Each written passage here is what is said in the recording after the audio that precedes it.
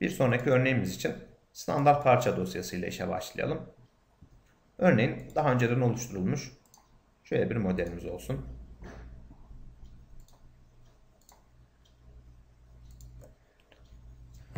Modelimi 2 mm et kalınlığı vererek yapıyorum.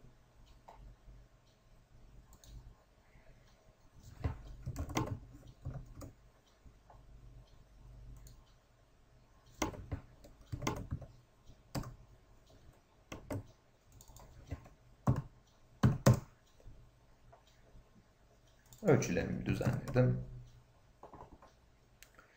Finish sketch diyorum. Nereye extrude edeceğim?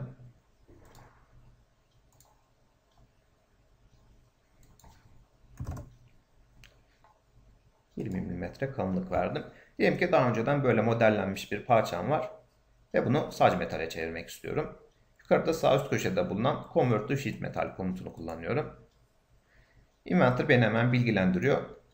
Bu parçanın düzgün bir şekilde açının alınabilmesi için sac metal kalınlığının her yerde aynı olması gerekir diyor.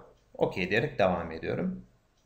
Şimdi direkt olarak bunun açılımını al dersem Inventor haliyle bunun açılımını alamayacaktır. Çünkü bunun üzerinde herhangi bir büküm bölgesi bulunmuyor. Dolayısıyla buralara bükümler tanımlamamız gerekiyor. Dolayısıyla bükümlü haline geri dönüyorum. Buradan Sheet Metal Default'tan öncelikle 2 mm'lik kuralımı seçiyorum.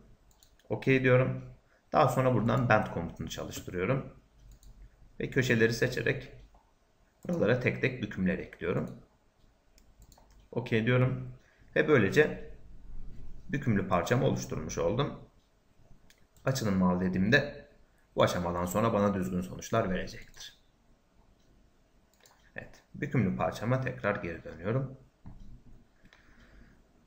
Bu şekilde bend komutunun bir kullanımından bahsetmiş olduk ve standart parça dosyalarının nasıl sheet metale döndürüleceğini de görmüş olduk.